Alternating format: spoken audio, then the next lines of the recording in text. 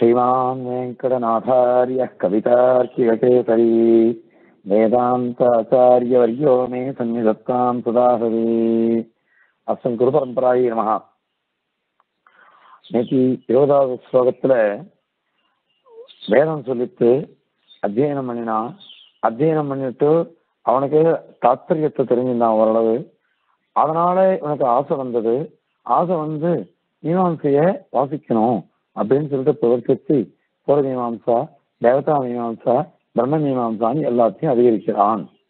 ரொம்ப வேகம் இருக்கிறவன் அவகாசம் இல்லாதவன் அதே மாதிரியாக உடம்புல சக்தி இல்லை ஞானத்துல போறல இப்படி கஷ்டப்படுறவெல்லாம் என்ன பண்றான் அப்படின்னு சொன்னாக்கா கடைசியில பிரம்ம பிரச்சாரத்திலேயே பிரவர்த்தி சொல்றான் ஆசையினால அப்படின்னு முடிச்சார். இப்போ அதுக்கு மேல இவன் அப்பூர்வபக்ஷி ஆக்ஷேபிக்கிறான். ஆசையினால தானே இவன் பிரவர்த்திக்கிறான். ஆசையினால பிரவர்த்திக்கிறான் விதியினால பிரவர்த்திக்கல. அதாவது வேத வேதம் எடுத்து அதனால நான் பிரவர்த்திக்கல. ஆசையினால தானே சாஸ்திரம் வாசிக்கிறான்னாக்க அப்ப எதுக்கு அவன் குரு கிட்ட போகணும்? ஏன்னா அங்க வாக்கியம் இருக்கு. பரீட்ச லோக லோகான் கர்மசிதான் நாஸ்தி அகிருதேன அதாவது கர்மாவனால எதை எதெல்லாம் நாம வந்து அடையிறோமோ அவைகள்லாம் வந்து அகிருதம் இல்லை. அகிருதம்னாக்கா நித்தியம் இல்லை. நித்தியமான பிரம்மத்தை அடையிறது இல்லை எதை அடையணும்னாக்கா சாஸ்வதம் இல்லாததும் அஸ்திரமாகவும் அல்பமாக இருக்கிறது தான் அடையிறோம் இப்படின்னு பரீட்சைய பரீட்சை லோகான் கர்மசிதான் கர்மாவனால அடையப்பட்டவைகள்லாம் வந்து நாஸ்தி அகிருத கிருதையின் அவைகள்லாம் அகிருதம் வரவே வராது. நித்தியமா இருக்கிறது சாஸ்வதமா இருக்கிறது அதனால கிடைக்காது. அப்படின்னு பரீட்சை. அந்த பலன்கள்லாம் கர்ம பலன்கள்லாம் சுத்தமா அனித்தியமா தான் இருக்கும். பிரம்மத்தை அடையவே முடியாதுன்னு தெரிஞ்சுட்டு பரீட்சிச்சுட்டு நிர் பிராமணம் நிர்வேதமாயார் இந்த பிரம்ம பிரம்மத்தை தெரிஞ்சுக்கணும் பிரம்மத்தை அடையணும்னு ஒரு உட்கட பிரவர்த்தி இருக்குதே அவனுக்கு ரொம்ப கஷ்டம் அதனால அவன் என்ன பண்றான்? தத் விஜயானார்த்தம் குருமேவ அபிகச்சேத். குருமேவ அபிகச்சேத் குருவையே அடைவான். அதை தெரிஞ்சுக்கணும். இந்த பிரம்மஜானம் எனக்கு வர வேண்டும். அப்படின்னாக்கா ஆச்சாரியருடைய திருவடிகளுக்கு ஆசிரியச்சுடுவான் சமித்பாணிகி சோத்ர சோத்திரியம் பிரம்மனிஷ்டம். சமித்பாணிகி ஸ்ரோத்ரியம் அந்த ஸ்ரோத்திரியம் வேதத்திலேயே நிலையோடு இருக்கக்கூடியவன் பிரம்மனிஷ்டம். பிரம்மையிலே நிஷ்டையோடு கூடிய பிரம்மவித்தா இருக்கிற ஆச்சாரியர் அடைஞ்சு சமித்பாணிகி. சமித்து நான் பிரம்மச்சாரிக்கு லட்சணம்? சமித்து. கையில எப்பொழுதும் சமித்து வச்சுருக்கணும். அதை வச்சுட்டு அவன் அங்க போய் அவர் அடைஞ்சிடுவான் ஆச்சாரியரே. அடையணும். அபிகச்சேத் அப்படின்னு இருக்கு அது விதி ஏவல். அவன் வந்து அங்க போய் அவர்கிட்ட அடைஞ்சிடணும் அப்படின்ட்டு சொல்லெடுத்து உபனிஷத்து இப்போ என்ன சொன்னா சித்தாந்தி விதியினால வேதத்துல வேதாத்தியனத்துல பிரவர்த்திச்சான். ஆனா விசாரத்திலேயோ ஆசையினாலதான் பிரவர்த்திக்கலாம் விதியினால வேதாத்தியனத்துல பிரவர்த்திச்சுட்டு விசாரத்துல ஆசையினால தானே பிரவர்த்திக்கிறான். அப்ப எதுக்கு குரு கிட்ட போகணும்? ஏன்னா அபிகச்சேதுன்னு குரு கிட்ட போகணும்னு விதி இருக்குது. அங்க வந்து எதுக்கு விதி? அதுவும் வேண்டியதில்லை. தானா வாசிக்கிட்டவன் இவனுக்கு தான் ஞானம் வந்திருக்கு. அத்தியனம் பண்ணிட்டான். சொதக இவனுக்கு வந்து அர்த்தங்கள் தெரிகிறது. ஏன்னா அங்காத்தியனம் பண்ணிட்டான். அங்காத்தியனம் பண்ணிட்டோம்னாக்கா அதுல இருந்தே அவனுக்கு ஞானம் வருது அதனால இவன் நேர குருகிட்ட போகாம சாட்சாத்து தானே புஸ்தகத்தை வச்சுன்னு பார்க்கட்டமே. அப்படியே தெரிஞ்சுக்கிட்டமே அங்க வந்து குமார தேசியம் சாய்க்கிறார். எதுக்கோசம் இதெல்லாம் எது போகணும்? ஒரு குருகிட்ட எதுக்கு போகணும்? வந்து சாரீரக சாஸ்திர புஸ்தக அவலோகனையனே அப்படின்னு சாய்க்கிறார். சாரீரக புஸ்தகம் இருக்கு வேதாந்த சாஸ்திரத்தினுடைய புஸ்தகங்கள் எவ்வளவோ இருக்கு. அந்த கிரந்தத்தை படிச்சுட்டு அவனையும் அர்த்தம் தெரிஞ்சுன்னு போனான் எதுக்கோசரம் அவன் குரு கிட்ட போகணும்? ஏன்னா நீங்களே தான் சொன்னீங்க ஆசையினால அவன் பிரவர்த்திக்கிறானே தவிர்த்து இவன் விதியினால பிரவர்த்திக்கலன்னு ஆசையினால பிரவர்த்திக்கிச்சு ஆசையா புத்தகத்தை பார்த்து அவன் தெரிஞ்சுக்கட்டும். அதை விட்டுட்டு என்னதுக்கோசரம் இவன் வந்து ஒரு குரு கிட்ட போகணும். அதனால அந்த விதிப்பிரத்தியம் வியர்த்தமா போயிடுறது. நீங்க வந்து விதியையும் ஒத்துப்போம். ஆசையாவும் போறது அப்படின்னு சொன்னாக்கா ரெண்டும் ஒண்ணுக்கு ஒண்ணு வையாக்குளமா போயிடும். வியாக்குளம் விரோதமா போயிடுமே. அதாவது விதியும் ஆக்ஷ விதியும் ஒத்துப்போம். ஆசையாவும் போவோம் அப்படின்னு சொன்னாக்க ஒன்றும் விதியினால போகணும். அல்லது ஆசையினால போகணும். ரெண்டுத்தையும் நீங்க வந்து ஒத்துப்போம் அப்படின்னு சொன்னா அது விருத்தம் இல்லையா? அதனால இந்த மாதிரி வாக்கியமே வேண்டாம். விதியை விட்டுட்டு நேர தானா இச்சையினால புஸ்தகத்தை பார்த்து தெரிஞ்சுக்கிட்டோம். புஸ்தகத்தை பார்த்து தெரிஞ்சுட்டா அவனுக்கே ஞானம் வந்துடுறது. பிரம்மத்தை பத்தி தெரிஞ்சுட்டு நீங்களே சொல்லிட்டீங்க. அனந்த ஸ்திரபலம் இது. அது அஸ்திரமான படம் அது. இதுவோ அனந்தமான ஸ்திரமான படம் இது. அப்படின்னுட்டு நீங்களே உங்களுக்கு தாத்பரியம் வந்த தோராயமா தெரிஞ்சுட்டான் தோராயமா தெரிஞ்சுன்றத புஸ்தகத்தை பார்த்து நாலு வாட்டி வாசிச்சான்னாக்கா அவனுக்கு வந்துடுறது. என்னத்துக்கோசரம் குரு கிட்ட போகணும். ஆச்சாரியர்கிட்ட போக வேண்டாமே போகாம தானே இது பண்ணலாமே அதனால அந்த விதி பிரத்யேகத்துக்கு உபயோகமே இல்லை. விதியே வேண்டாம். விதி இல்லாமல் இவன் பிரவர்த்திக்கிறான். அப்படியே எடுத்துக்கோங்க.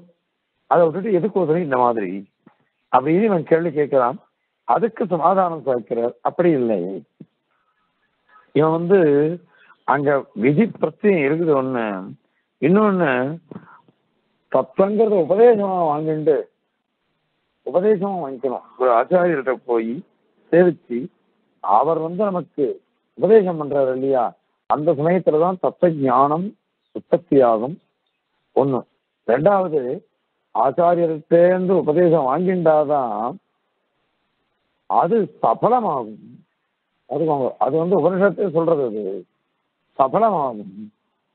எங்க பார்த்தாலும் இந்த மாதிரி ஆச்சாரியாள்கிட்டேருந்து தான் நம்ம இது பண்ணிக்கணுமே தவிர்த்து நாமளே கிரகிக்க கூடாது மந்திர உபதேசம் வாங்கிக்கிறோம். நமக்கே தெரியாத அஷ்டாட்சரம்னா என்னன்னு தெரியும் பயமந்திரம்னா என்னன்னு தெரியும் சரவஸ்லோகம் என்னன்னு தெரியும் எல்லாம் தெரிஞ்சிருந்தா கூட குரு உபதேசம் பண்ணாதான் அதை நாம ஏத்துக்கணும். அப்பதான் நமக்கு அது பலன் கொடுக்கும்.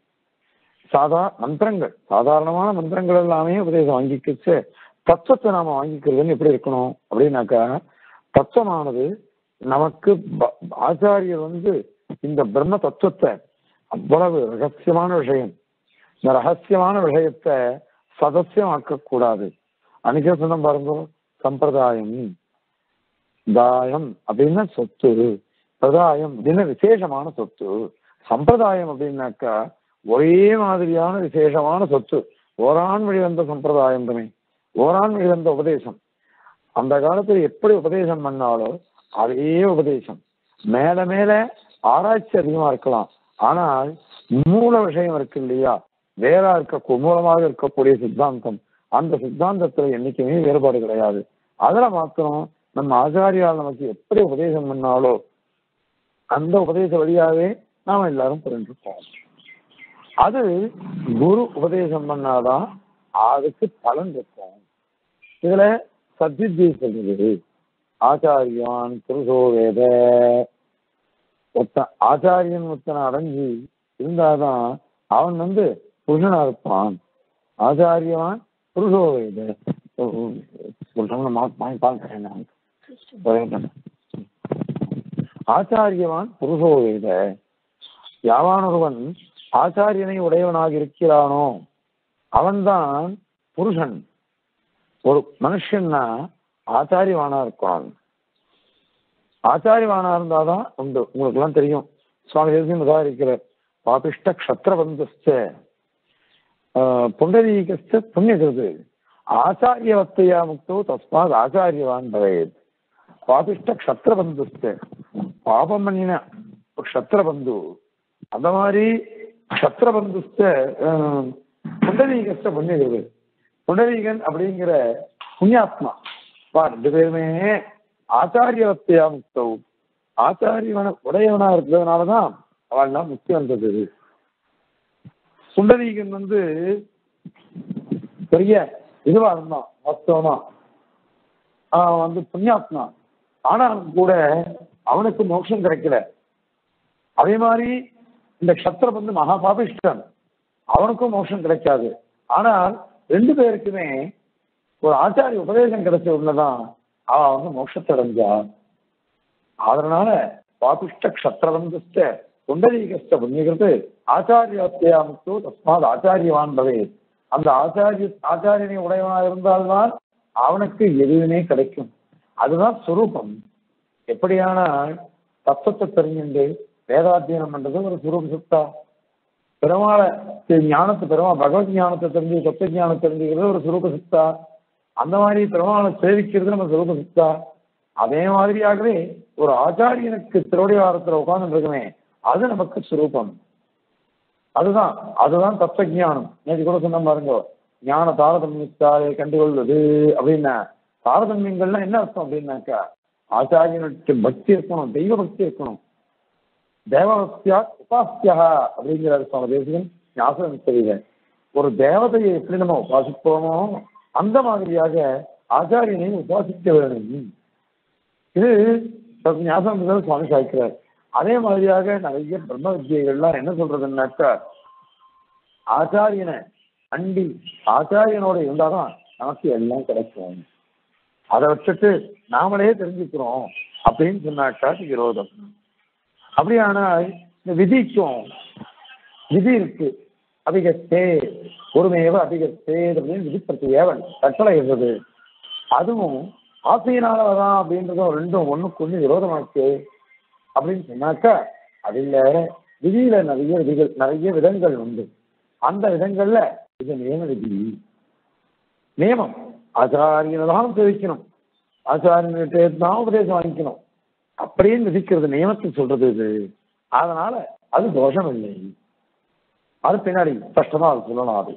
அப்படின்னுட்டு இந்த ஸ்லோகத்துல சுவாமி தேசியன் தீர்மானம் பண்றேன் ராகான் மீமாம்சதே தே ஸ்வயமிக யததாம் கிம் குருக்தியே தென்ன பிரம்ம ஜானாப்தயே குரு அபிகமன விதேஹ தேன தத்துவோபதேசாத் சத்வித்யாச்சாரியவத்வே பரபிரம்ம வித்தின் ததான்யாபி आचार्यादित्यदीते नियमविधिरसौ நிச்சிதோ நீதி வித்தி அப்படின்னு சொல்லிக்கிறேன் இந்த ஸ்லோகத்துல ராகான் மீமாம்ச தேச்சு ஆசையினாலேயே விசாரம் பண்றான் அப்படின்னு சொல்லிட்டு சுயமிக எத்தான் தானே பிரயத்ன பிரயத்தனம் பண்ணட்டுமே அதை விட்டுட்டு என்னத்துக்கோசரம் இவன் ஒரு குரு கிட்ட போகணும் கிம் குரு தேர்ந்தேன்னு குருவனுடைய உபதேசம் தேவையே இல்லையே குரு உபதேசித்தாதான் எனக்கு அர்த்தம் அப்படின்னா வேண்டாம். தானே புத்தகத்தை பார்த்து தெரிஞ்சுக்கிட்டோம். தானே புத்தகத்தை பார்த்து தெரிஞ்சுட்டாக்கா அவனுக்கு ஞானம் வந்துடுமே.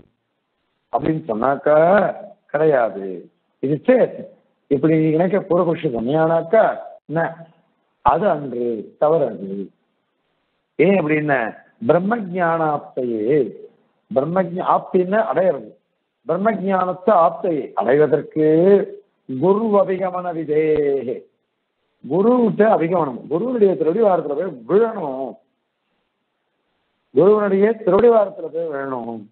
குருவனுடைய திருடிவாரத்துல விழலைன்னாக்க அவன் உபதேசிக்கலைன்னாக்க எனக்கு எந்த ஞானமும் வராது.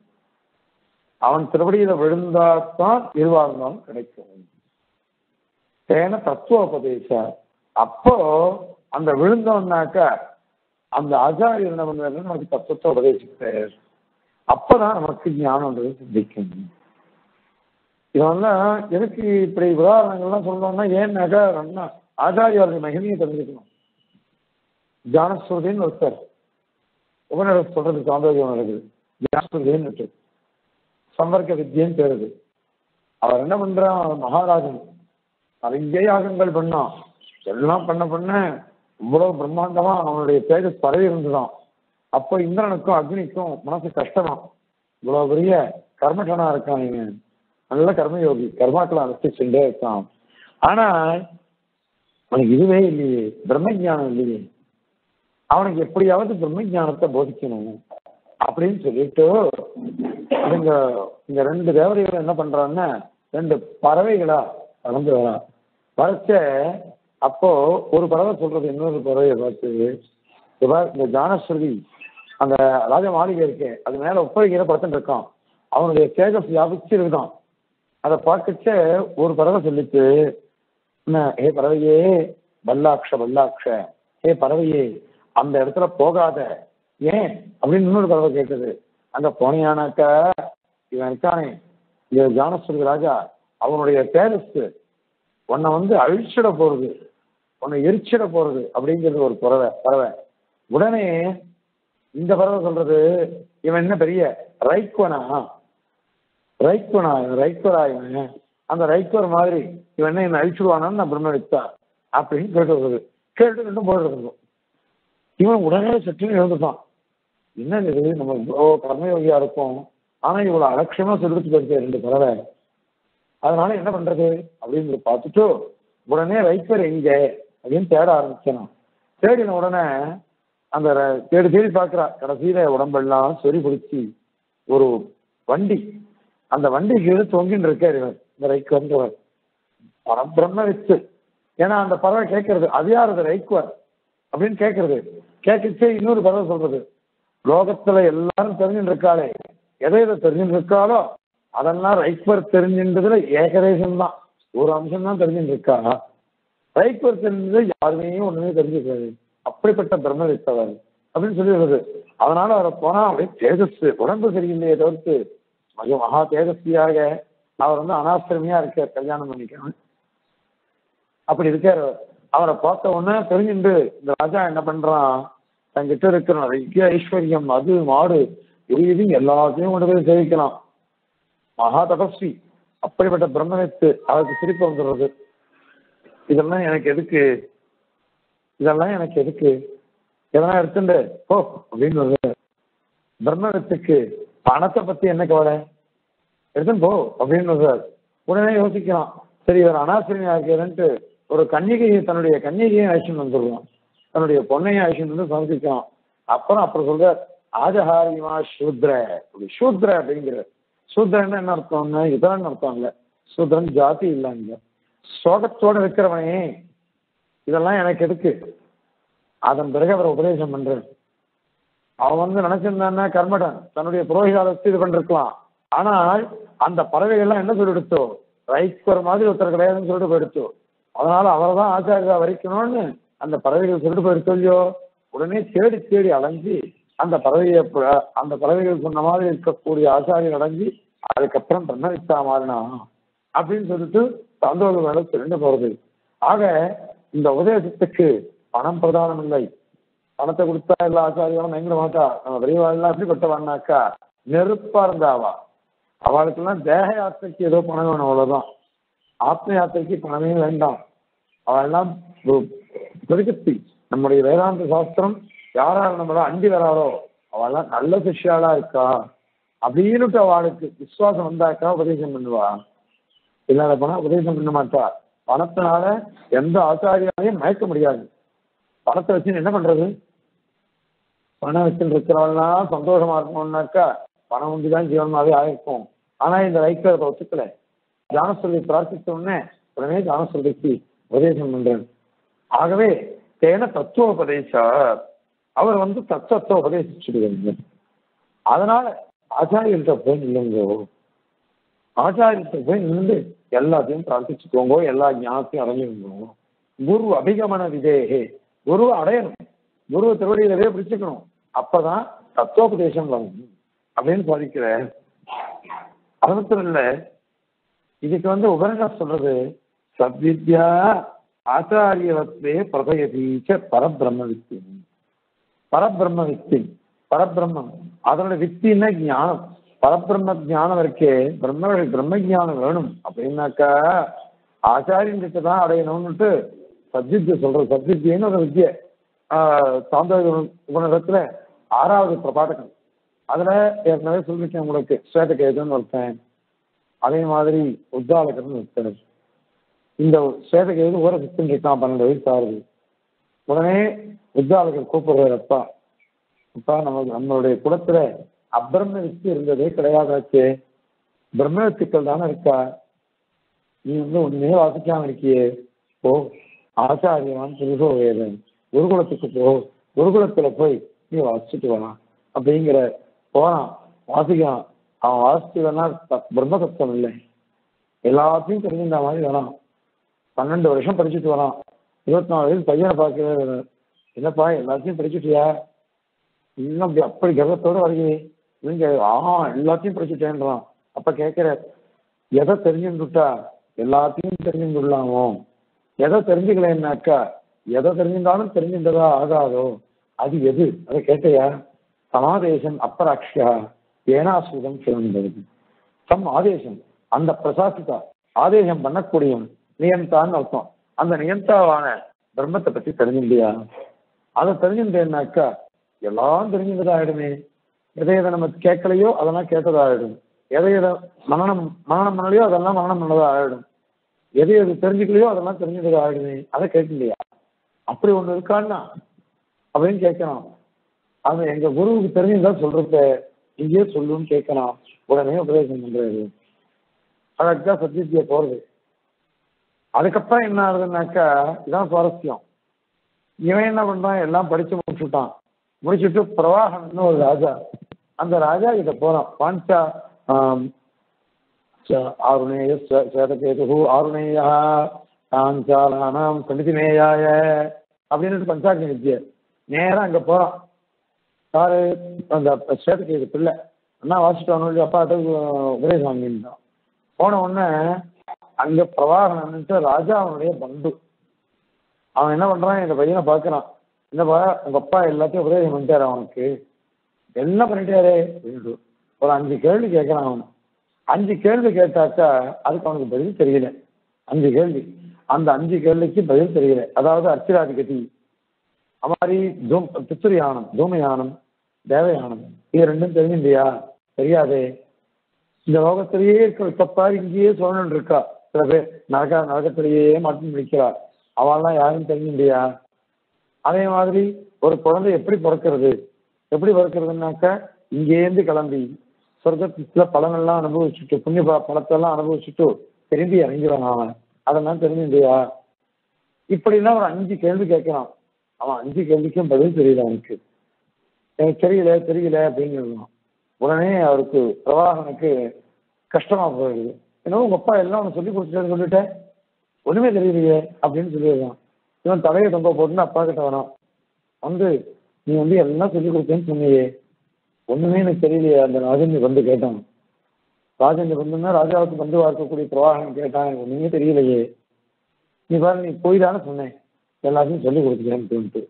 அப்போ அந்த உத்தாரகர் என்ன அடக்க பேசுறார்? அவர் சொல்ற எனக்கு கணக்கு தெரிஞ்சிருந்தாக்கா உனக்கு சொல்லிக் கொடுக்காம இருப்பனா எனக்கே தெரியலையே. அப்படின்னு சொல்லிட்டு இவருக்கு இருபத்தி நாலு வயசு. நேராக அவர் போயிடுறார் அந்த ராஜா கிட்ட. அப்ப இவர் அந்த பையனுக்கு இருபத்தி நாலு வயசுன்னா இவருக்கு எவ்வளவு வயசு இருக்கணும்? குறைஞ்சபட்சம் ஐம்பது அறுபது வயசு இருக்கணும். நேராக போயிடுறாரு. போ போன உடனே ராஜசபைக்கு போன உடனே பிரவாகனன் அடிச்சு வாரி போட்டு எழுந்துக்கிறான். அந்த ராஜா கேள்வி கேட்டவன் என்னண்டு? வாங்கோ. இங்கே யாக யாகத்துல தட்சிணை யாராருக்கு என்னென்ன கொடுக்கணுமோ அதை உனக்கு சமர்ப்பிக்கிறேன். வாரம் அப்படின்றான். உடனே அவர் கேட்கிறார் கிமனை என வித்தேனே. இந்த பணத்தினால எனக்கு என்ன பிரயோஜனம்? இந்த வேற என்ன வேணும் அப்படின்ட்டு அவன் கேட்கறான் அதுக்கு இவர் சொல்றார். இந்த மாதிரி என்னுடைய பிள்ளைகிட்ட ஏதோ கேள்வி கேட்டது இல்லையா? அந்த கேள்விக்கு வேணா பதில் சொல்லிக்கிறேன் அப்படின்னு அவன் கேட்கிறான் அந்த அவர் கேட்கிற உத்தாளுக்கு. பிரவாகனன் சொல்றான் அப்படியா? வச பிரம்மச்சரியம் அப்படின்னு ராஜா. வச பிரம்மச்சரியம்.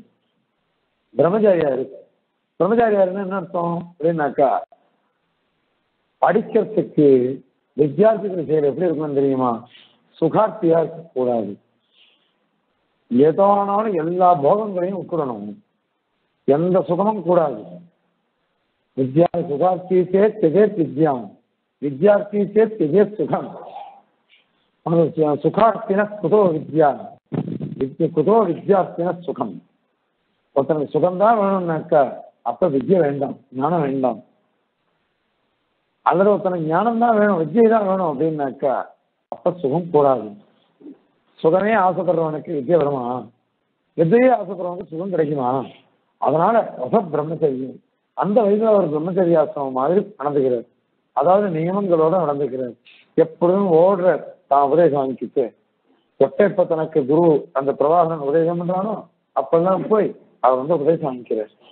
பிரம்மச்சாரியா இருக்கு அதாவது போகங்கள் அனுபவிக்காம அது கிரகஸ்தர் தானே இப்போ பிள்ளையே பெற்றுட்டு இருபத்தி நாலு வயசு பையன் இருக்கான்னாக்கா பிரம்மச்சாரியான்னு என்ன அர்த்தம் அப்படின்னாக்கா அந்த சமயம் ஒரு பிரம்மச்சாரிக்கு என்னென்ன நியமங்கள்லாம் உண்டோ அந்த நியமங்கள் எல்லாம் அவர் கடைபிடிக்கிறார். அப்படி ஒரு குரு கிட்ட பக்தியோட பிரவாகனம் கிட்ட போய் எல்லாத்தையும் உபதேசம் வாங்கிடுறது இங்க வயசு கிடையாது பணம் கிடையாது சுகம் கிடையாது. வேண்டியது என்னன்னாக்கா பிரம்ம ஞானம். அதுக்கப்புறம் பஞ்சாக்னி வாங்கிக்கிறார். இது அஞ்சாவது பிரபாடகம் சாந்தோக்கியோடு அழகாக விவரிக்கிறது. வரப்போறது பின்னாடி வரப்போறது மூணாவது அத்தியாயத்தில் இதெல்லாம் வரப்போறது. அப்போ சேவிக்க தோணும். அதனால இந்த மாதிரியாக ஒரு குரு அபிகமன தேன தத்துவ உபதேச. ஆச்சாரியனா இருக்கிறவன் என்ன பண்ணுவான்னாக்கா நமக்கு எல்லாத்தையும் உபதேசிச்சு சொல்லுவாங்க. அதனால சத்வித்யா ஆச்சாரிய ஆச்சாரியவத்தே பிரதேசித்த பரபிரம்மது. சத்வித்யானது ஆச்சாரியவான் புருகோ வேத அப்படின்னுட்டு ஆச்சாரியவானா இருந்தாதான் அவன் மிஷனா இருப்பான். அவன் என்ன பண்ணணும் அப்படின்னாக்கா குருவனுடைய திருவிழாத்துல தான் பிரம்ம ஞானத்தை தெரிஞ்சுக்க முடியும் அப்படின்னுட்டு அங்கே சொல்லிட்டு போயிடுச்சு. சத்வித்யை நமக்கும் உபநிஷத் முக்கியம். வேதம் என்ன சொல்றதோ அதை நாம் அப்படியே கிரகிச்சுக்கணும். அப்படி கிரகிச்சுக்கிறதுனால நமக்கு நல்ல ஞானம் உண்டாகும். நமக்கு அப்படி ஞானம் உண்டாகும். அந்த ஞானம் வருது அப்படிங்கிறதுனாலயே நாம் எல்லாத்தையும் தெரிஞ்சுக்கணும்.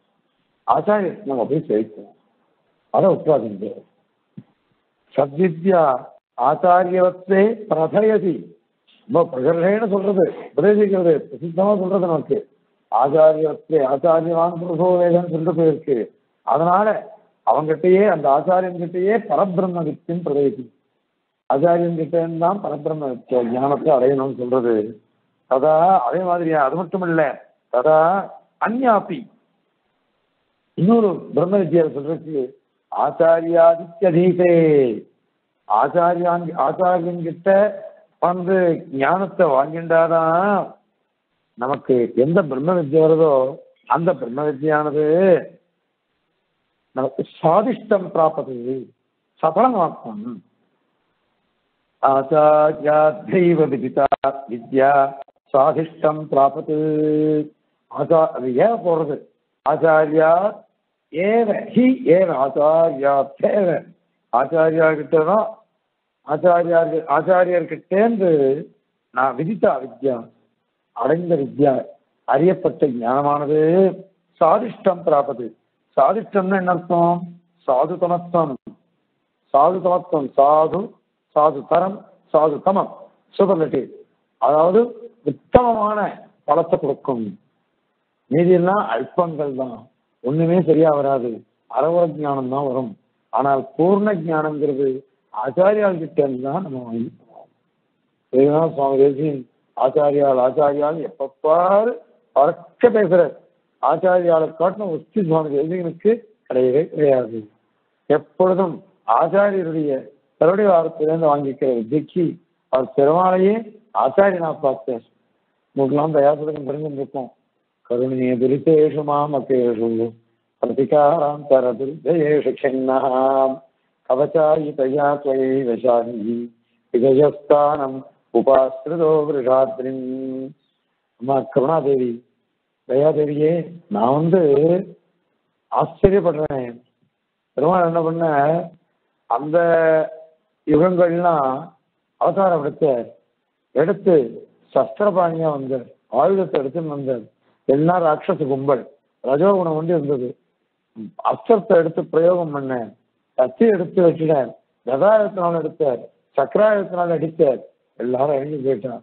அனாயாசமா ராட்சசால அடிச்சுட்டார் ராஜசா ராஜசத்தினால வந்த ராட்சசால எல்லாம் அடிச்சு போயிடுது பெருமாள் ஆனால் இப்ப இருக்கிறவெல்லாம் எப்படிப்பட்டவா தெரியுமா?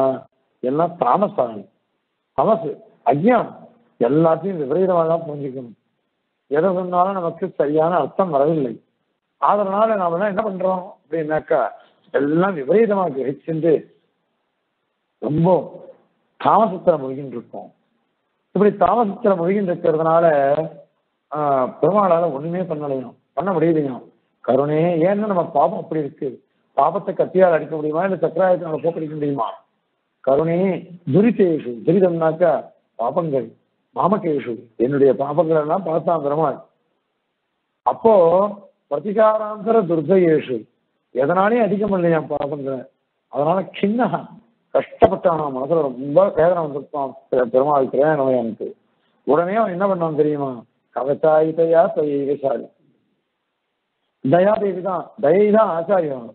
ஏன்னா அந்த கருணை இருந்தாதான் நமக்கு உபதேசம் பண்ண முடியும். அதனால அவருக்கு கருணாமய ரூபம். அன்னைக்கு சொன்னோம் பாருங்க தேவானுகிரக காரித்வாத்து சிஷ்யானுகிரக காரணாத்து. கருணாமய ரூபித்வாது உச்சதே தேசிகோபுதை அதாவது தேவ அனுகிரகத்தை பண்ணி வைக்கிறவர் இவர்தான் ஆச்சாரியன். அதே மாதிரி சிஷ்யாளுக்கு அனுகிரகம் பண்ற தேவ அனுகிரகம் சிஷ்ய அனுகிரகம் இவர்தான் பண்றாரு கடைசியில கருணாமய ரூபித்வார் கருணையே வடிவெடுத்துன்னு இருந்தா எப்படி இருக்கும்? அந்த மாதிரி இருக்கார் ஆச்சாரியர் அதனாலதான் அவருக்கு தேசிகர்னு பேரு அப்படின்னுட்டு இந்த தேசிக சித்தத்துக்கு அர்த்தம் சொல்ற ஒவ்வொருத்து ஆச்சாரியன்னா ஒரு அர்த்தம் குருன்னா ஒரு அர்த்தம் தேசிகன்னா ஒரு அர்த்தம் இப்படி ஒவ்வொன்றுத்துக்கும் அர்த்தம் சொன்னச்சே கருணாமய ரூபித்வாத் அப்படின்னுட்டு தேசிக சத்தத்துல கா அப்படின்றதுக்கு அர்த்தம் சொல்றா. இது மூணும் சேர்ந்து ஒன்னா நமக்கு வந்து அனுகிரகத்தை பண்றது. அதனால சின்ன கவச்சாயுதையா தொழில் சாந்தி. ஒன்ன கவச்சமா சாத்தின்ட்டான் என்ன பண்ணான் பெருமாள்னா ஆச்சாரிய வேஷம் எடுத்துட்டான் அதனால நமக்கு உபதேசம் பண்ணான் கீதாச்சாரியன் வராக அவதாரத்தை பூத்ராட்சிக்கு உபதேசம் பண்ணான் அதுல ஒரு சமஸ்லோகம் இதுல ஒரு சமஸ்லோகம். ஸ்ரீமத் ராமாயணத்துல இது சரணாகிரி எப்போ? சகதேவ பன்னாயன்னுட்டு சரணாகிரி உபதேசம் பண்ணி வச்சுட்டான். எல்லாம் பண்ணிடவே இப்படி ஆச்சாரியன் அப்படிடவே நாம எல்லாரும் சமோகுணத்தை விட்டுட்டு அஜானத்தை விட்டுட்டு ஆச்சாரிய பெருமாள் சொன்னதையும் எல்லாத்தையும் தெரிஞ்சுட்டு நல்லதை அடைஞ்சிட்டோம். அதனால பெருமாள் ஜெயிச்சானோ? என்ன ஆச்சரியம்? நாம ஜெயிக்கிறது அவன் ஜெயிச்சுதான் ஆயிடுறது. அதனால அவன் சந்தோஷப்பட்டு விஜயஸ்தானம் உபாசந்தோ ரிஷாத்தன். ஜெயிக்கிறவன்லாம் மேலே ஏறி நிற்பான். தோக்கிறவன் தான் கீழே இருப்பான் இல்லையா? ஏன் திருவேங்கனையான் இவ்வளோ பெரிய அந்த மலை மலையில போய் எழுந்து உட்காந்துருக்காரு பெருமாள். ஏன் சப்தகிரியில் மேல உட்கார்ந்து ஜெயிச்சுவா ஜெயிச்சுவா மேலதானே இருக்கணும்? அவன் ஜெயிச்சுட்டான். எங்க யாரும் ஜெயிச்சான்? நம்முடைய பாபங்களை அவன் ஜெயிச்சான். நாம பாபத்தினால கஷ்டப்படுறத பார்த்துட்டு அவன் ஜெயிச்சான். பாபங்களை அழிச்சு எதனால் அழிச்சான்னு ஆச்சாரிய வேஷம் போட்டு வந்து அழிச்சான். அதனால ஆச்சாரியர் தான் முக்கியம். விஜயஸ்தானம் உபாஸ்கிருதா.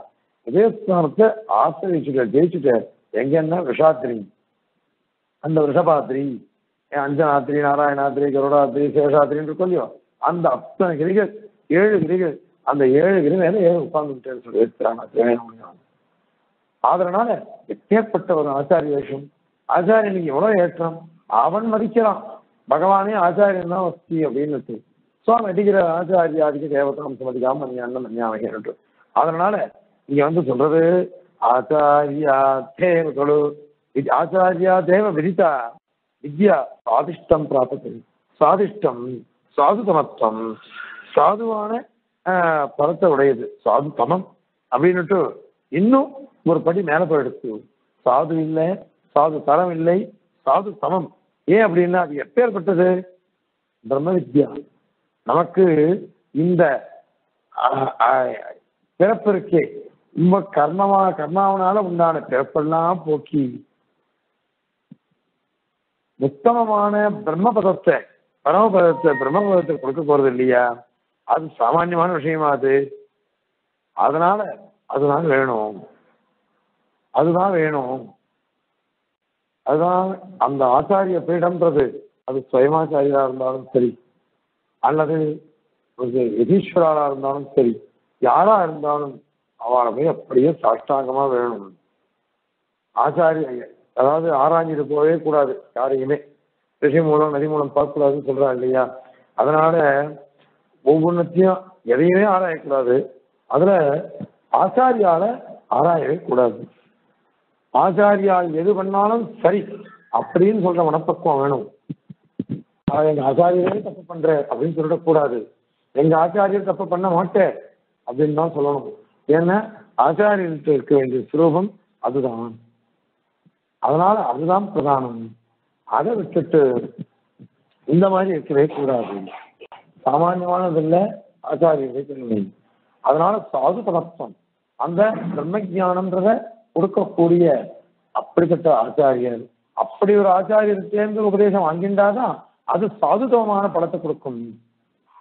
அதுதான் பிராமணிகமா இருக்கும். பிராமணிகமா இருக்கிறதுனால அந்த ஆச்சாரியர் தெரியுங்கோ சரி இப்ப இது வரையும் சொல்லிட்டு போது ரொம்ப சந்தோஷம். ஆனா நீங்க விதியும் ஒத்துப்பேன். ஆசையா போறான். இச்சையினால பிரவர்த்திக்கிறான். அப்படின்னு ஒத்துப்பேன்னு சொல்றீங்களே? அது எப்படி?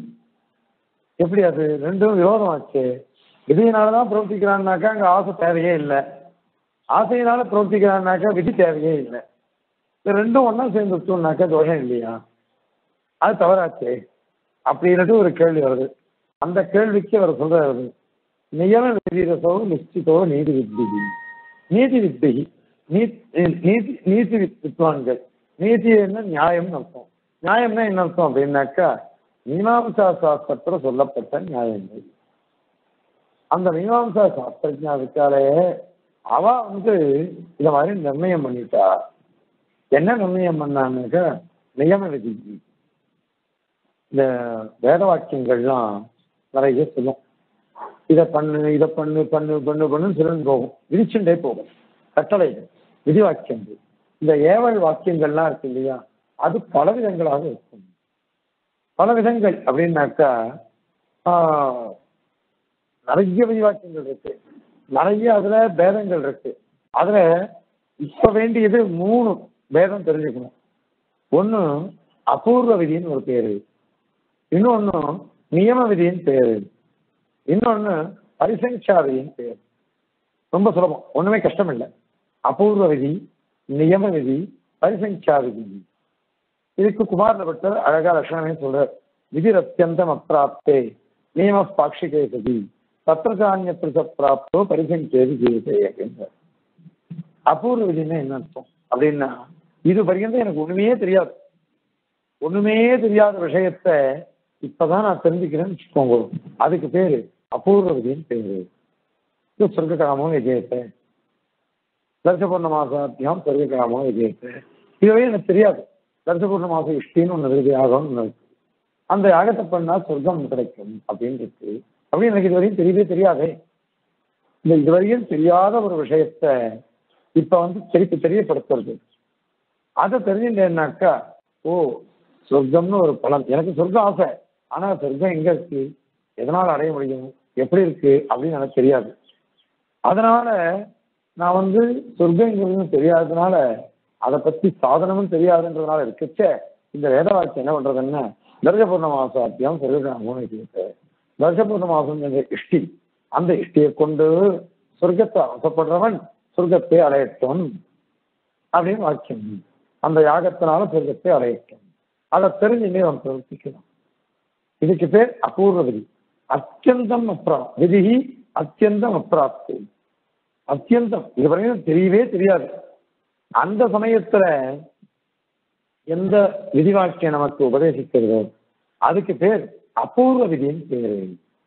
இத பூர்வ மீமாம்சகால் நிறைய இடத்துல ஒத்துருக்கா அந்த மாதிரி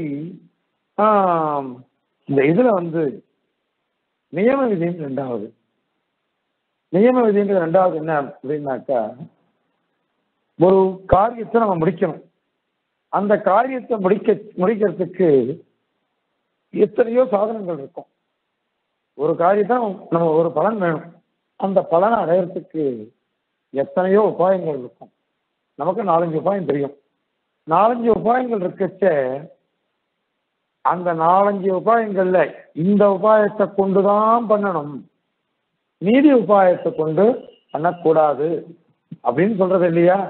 அது நியம விதியின் பேரு நம்ம லோகத்துல பிறந்துட்டோம். வையத்து வாழ்வீர்கள் அப்படின்னு ஆண்டாள் சொல்றா. வையத்து வாழ்வீர்கள். அதனால வையத்து வாழ்வீர்கள் எதுக்கு கூட்டா வையத்தில் உள்ளவரே அப்படின்னு கூப்பிடலாமே. வாழ்வீர்கள் ஏன் கூட்டா அப்படின்னு வாழறாளே எப்படி வாழணுமோ அப்படி வாழறவான்னு அர்த்தம் ஜீவனம்ன்றது பண்ணியாகணும். ஜீவனம் எப்படி பண்ணணும் பண்ணணும்? உஞ்சவர்த்தி பண்ணி பண்ணலாம். அது உத்தமமானது. ஒரு வைஷ்ணவன் என்ன பண்ணணும்? பிராமணன் அப்படின்னாக்கா உஞ்சவர்த்தி பண்ணணும். தேவியும் அதுதான் பண்ணிட்டு இருந்தார் உஞ்சவர்த்தி பிக்ஷாடம் நித்தியபடி ஆஹ், ஸ்லோகங்களை சொல்லிண்டோ வாசகங்களை ஜெயிச்சுண்டோ பெருமாள் விஷயமான சொல்லிண்டு வீதியில போய் யார் என்ன சேர்க்கிறாளோ அதை வாங்கிட்டு நான் போய் உஞ்சவர்த்தி பண்ணணும். கருடபுரம் சுவாமின்னு இருந்து விழுந்தார். அவருடைய திரு தம்பி. சுவாமியினுடைய திருநாமத்தை கேட்டாலே சேஷம். மன்னாருடைய திருமால் ராஜகோபாலன் இருக்கிறேன் அவருடைய திருநாமத்தை சாத்தின்றவர் அவர் அந்த மகான் வந்து மதுராந்தகத்தில் இருந்து விழுந்தார் கருடபுரம் சுவாமி அங்கதான் இருந்து விழுந்தார் அவர் சன்னியாசியாக போயிட்டார். இந்த சுவாமி என்ன பண்ண ஒரு சின்ன சுவாமின்னு சைப்பா அவர் அந்த சுவாமி நித்தியபடி உஞ்சவர்த்தி எத்தனை போவேறான் எத்தனை போது வரவேறான் ஏதோ யாராவது உத்தியோகத்துக்கு சிவவிஷ்ணவர் தான் வாங்கிட்டு அவரும் சேர்த்துருவேன் சேர்த்துட்டு அதன் பிறகு அவர் போய் சேர்த்து உஞ்சவர்த்தி பண்ணுவார் இது உத்தமமான கல்பம் ஜீவனத்தை அடுத்தது நம்ம ஞானத்தை கொண்டு யாருக்காவது சிஷ்யாளுக்கு பாடம் சொல்றோம் சொல்லச்ச அந்த சிஷ்யன் ஆசையா ஏதாவது சமர்ப்பிப்பான். ஆசையா ஏதாவது இவர் கேட்டுல இவர் கேட்கக்கூடாது.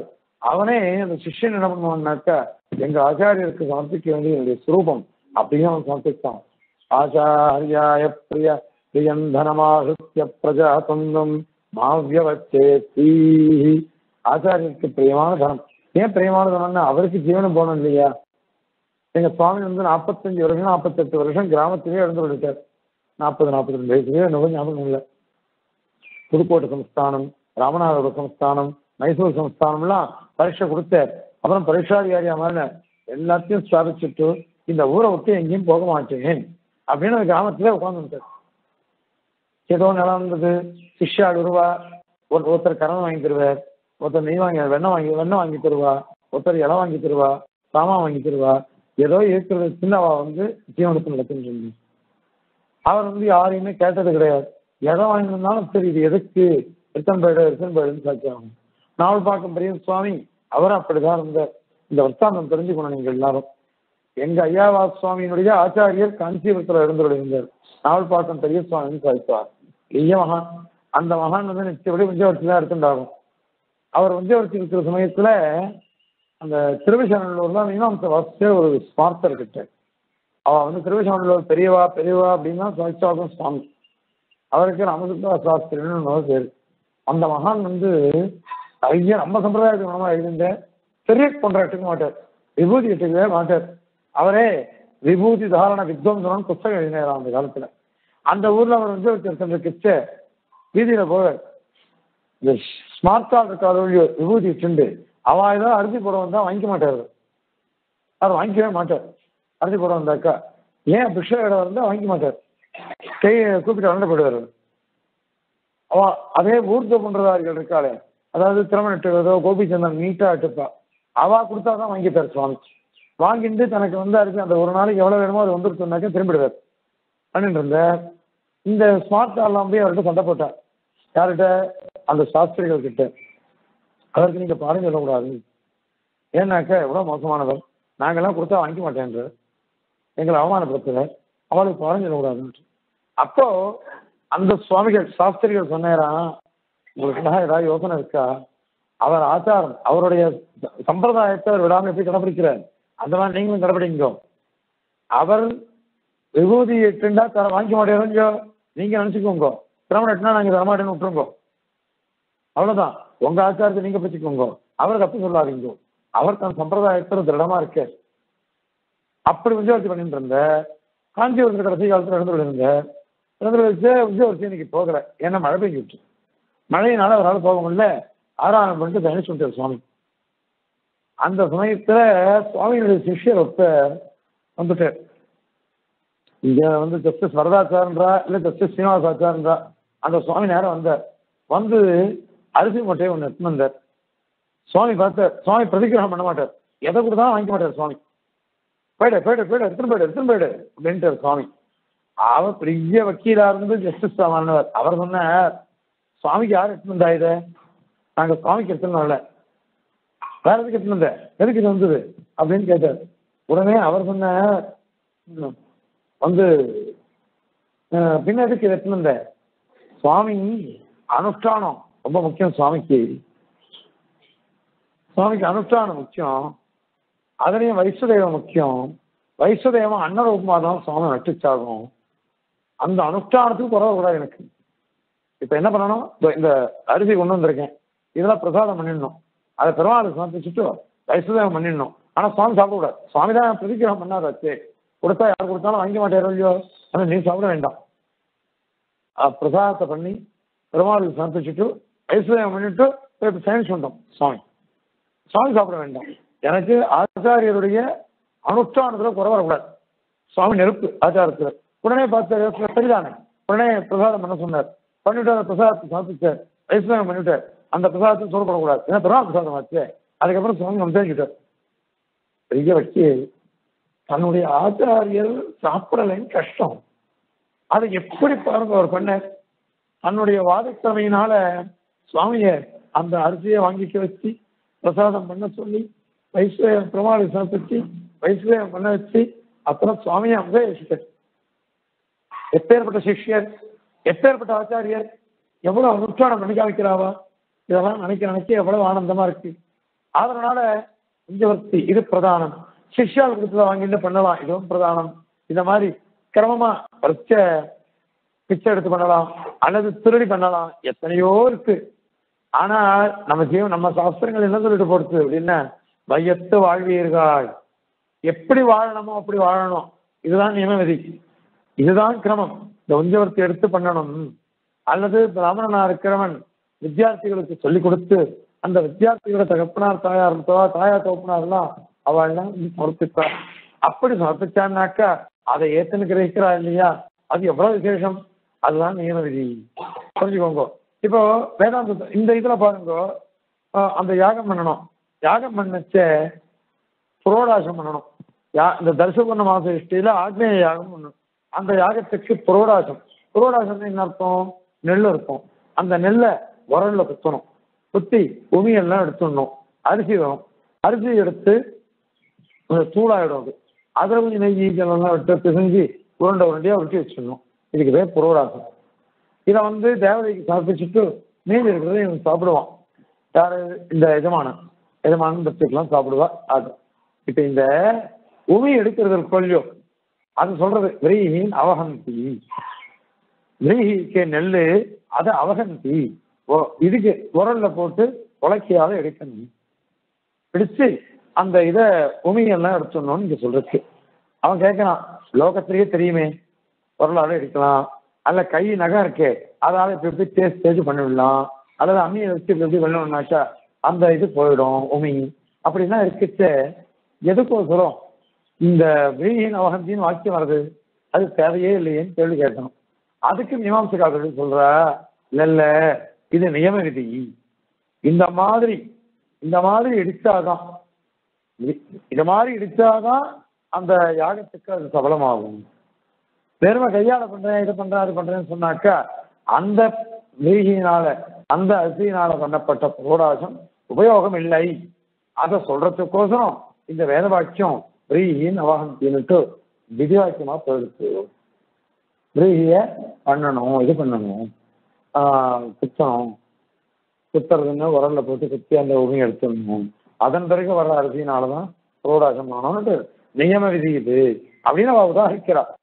அந்த மாதிரி இங்கேயும் ஆச்சாரியர்கள்கிட்டேருந்து உபதேசம் வாங்கிண்டு அந்த ஞானத்தினால பிரம்ம ஞானத்தை அடைஞ்சான்னாக்கா அது நியம விதியா போயிடுறது அதுக்கோசரம் தான் இங்க வந்திருக்கு.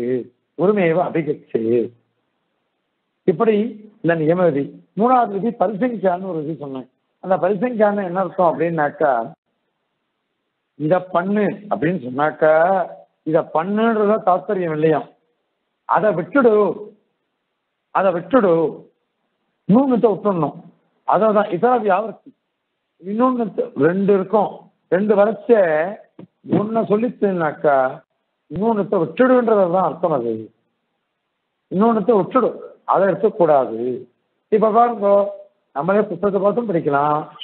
ஆச்சாரியர்கிட்ட உபதேசம் வாங்கிக்கலாம். அப்படி சொல்லச்சு ஆச்சாரியர்கிட்ட தான் வாங்கிக்கணும்னு நியமதி அப்போ புத்தகத்தை பார்த்து படிக்கிறதுன்றது விட்டுடணும். இது பரிசங்கிச்சா அதனால இந்த பரிசங்கிச்சா விதியாகட்டும் நியம விதியாகட்டும் இது முக்கியம். நமக்கு ஞானம் வரணுன்றது எல்லாருக்கும் தெரிஞ்ச விஷயம். அது இச்சையினால வரான். இச்சையினால தான் இவன் பிரவர்த்திக்கிறான். அது வாஸ்தவம். இச்சையினால பிரவர்த்திச்சாலும் இவனுக்கு ஞானம் வரதோ இல்லையோ? இந்த ஞானமானது ஆச்சாரிய முகமா வந்தாதான் அது சபலமாகும்னு சொல்றது இருக்குது. அதுதான் நியமதி அதனால புத்தகத்தை படிக்கிறதெல்லாம் விட்டுடணும். இதர நீ பரிசீலிச்சா ஆக இது நியம விதியா போயிட்டதுனால இந்த பிரம்மஜான வரத்துக்கு ஆச்சாரியர் அடைஞ்சுதான் அதனால விரோதம் இல்லை. இச்சையினால பிரவர்த்திக்கிறான். இச்சையினால பிரவர்த்திக்கிச்ச அந்த வேதம் சொல்றது ஆசையா உங்க குரு நிலையத்தினுடைய வாரத்தில் பேர் விளைஞ்சிருது குருவோட திருவடி வாரத்தில் விழுந்து அவர்கிட்ட நீ உபதேசம் வாங்கிக்கோ நீ உபதேசம் வாங்கிட்டேன்னாக்கா உனக்கு எல்லா ஞானமும் வந்துடும் அந்த ஞானம் வந்துருக்குனாக்கா நீ உபாசனத்தை வச்சுக்கலாம் அதனால இது சபலமாகும் பிரம்மத்தையே அடையலாம்.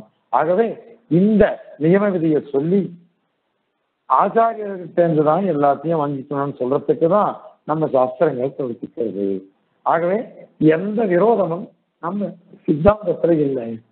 இவா இதை வந்து இந்த ஆச்சாரியன்கிட்ட அடையிறதுன்னு இருக்குதே.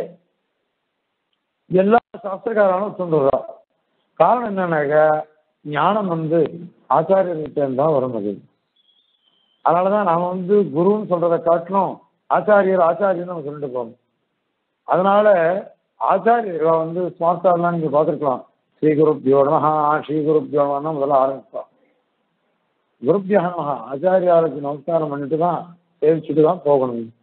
இது எல்லா சம்பிரதாயத்திலையும். மிச்சபடி ஆச்சாரியரை தனியனை தியானம் பண்ணாமல் நம்ம எதுவும் சொல்லக்கூடாது. என்னைக்கும் ஆச்சாரியரை தியானிச்சுட்டே இருக்கணும். அதனால அந்த ஆச்சாரியருடைய வைபவம் சாமான்யமானது இல்லை அந்த காலத்துல நான் ஆச்சா ரங்கநாத பாதுகையில மாத்திரு தெய்வ பவா பிதர் தேவ பவான் ரெண்டு எழுதினேன். ஆச்சாரிய தெய்வ பவான் எழுதினேன். அதை ஏதோ காரணத்தினால போட மாட்டேன்னு சொல்லிட்டா பாதுகையில அப்போ. பத்து ரெண்டு வருஷம் முன்னாடி. ஆண்டவன்கிட்ட போய் சொன்னேன். ஆண்டவனே சார் சார் எந்தையே போட மாட்டேன்ட்டாடா அப்படின்னார். என்னன்னா நான் தோஷம் சொல்லலை இப்போ. அவளுக்கு அதில் சில விஷயங்கள் பிடிக்கலன்னு விட்டா. போட்டோம் அப்புறம் நான் விட்டுட்டேன். ஆண்டவன் சொன்னேன் திருப்பி வேணா எழுத நான் போடலாம் போட சொல்றேன் அப்படின்னு வேண்டாம் அப்படின்னு விட்டேன். ஏன்னா ஆச்சாரிய ஆளுதான் சாமானியமானது அப்படிப்பட்ட வசந்த ஆச்சாரியார் அவளுடைய வைபவத்தை நம்ம எவ்வளவு பேசினாலும் எவ்வளவு நினைச்சிருந்தாலும் புண்ணியம். அதனால குரும் பிரகாசிய ஜீவான் மந்திரம் எத்தனை கோபி எத பிரகாச பிரகாசாத்தியம் பிரகாஷ் சுவாமி தேவியன் எத்தனை புத்தகம் எழுதினாலும் சரி ஆச்சாரியாளுடைய வைபவத்தை எழுத முடியாதுன்னு சொல்லிட்டாரு சுவாமி. அதனால அதையும் இன்னொரு அப்பிரச்சுபகரணதையா அப்படிங்கிறது நாம வந்து அப்பிரச்சுபகரணம் பிரச்சுபகரணம்ன்ற புத்தி வரக்கூடாது. எனக்கு அவர் ஞானம் கொடுத்த அதுக்கோசரம் இவ்வளவு பண்றேன் நான்.